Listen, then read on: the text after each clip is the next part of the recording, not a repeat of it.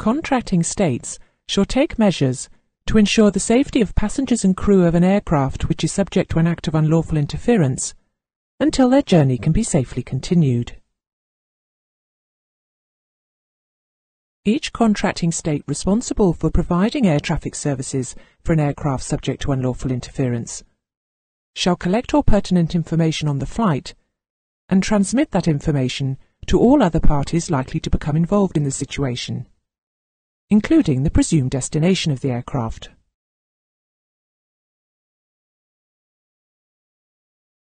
Each contracting state shall provide such assistance as is necessary to an aircraft subjected to unlawful seizure.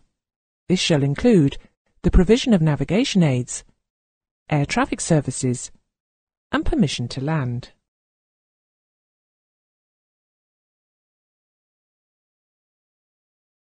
Steps should be taken by contracting states to ensure that once landed, an aircraft subject to unlawful seizure shall be detained on the ground unless to do so would risk an overriding responsibility to protect life. The content of other ICAO annexes and documents relate directly to security, and you should be familiar with them. The first is ICAO Annex 2, Rules of the Air, which states the following. An aircraft subject to unlawful interference shall endeavour to notify the appropriate air traffic service unit of this fact in order to enable the Air Traffic Service Unit to minimize conflict with other aircraft. Pilots in command should endeavor to continue with the notified flight plan and fly the assigned tracks headings and airspeeds. Should the aircraft be forced from its assigned flight plan and be unable to communicate with an air traffic service unit, it should attempt to broadcast a warning on emergency frequencies unless circumstances dictate otherwise, and proceed in accordance with any special procedures for in-flight contingencies, where such procedures have been established. If no special procedures exist, fly at 1,000 feet above the normal cruising level, wherever 2,000 feet vertical separation is specified, or 500 feet above the cruising level, wherever 1,000 feet vertical separation is specified. Secondly, the ICAO Annex 6 Part 1 Operation of Aircraft document refers to some aspects of aircraft operational security. Annex 6 states that in all aircraft that have a crew compartment door, it shall be capable of being locked from within. An operator shall ensure that there is on board a checklist of the procedures to be followed when searching for a bomb in case of suspected sabotage. It shall detail actions to be taken in the event of finding a device and information on the least risk bomb location specific to the aeroplane. An operator shall establish and maintain a training program which enables crew members to act in the most appropriate manner to minimize the consequences of acts of unlawful interference. Following an act of unlawful interference, the pilot in command shall submit without delay a report of such an act to the designated local authority.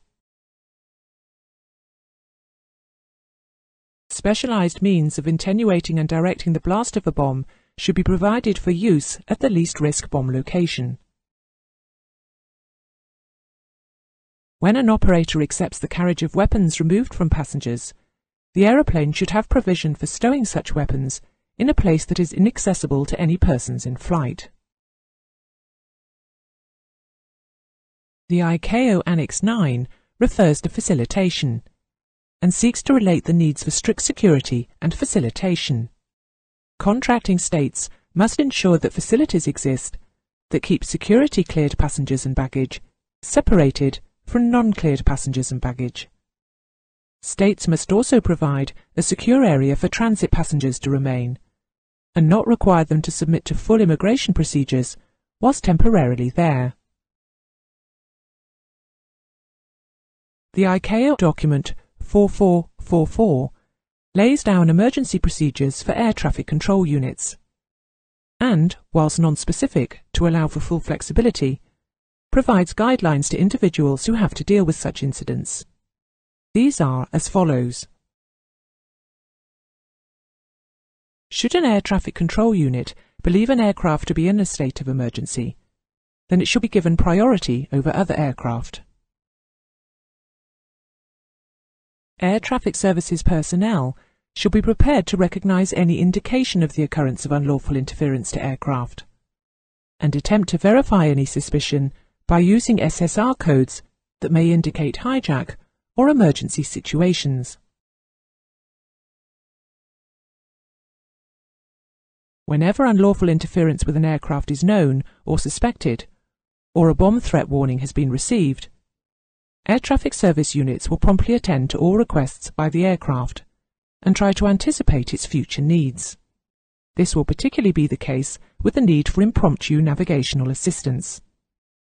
Air traffic service units shall take such action as is necessary to safely expedite all phases of the flight, transmitting any information pertinent to the safety of the flight, monitor it all the time, and keep all air traffic service units that may become affected by the flight informed of the situation. Annex 14 requires each airport to allocate at least one specified taxiing route to a remote parking position that will keep suspect aircraft at least 100 metres from other aircraft, buildings, fuel installations, or public areas. That concludes the lessons on security.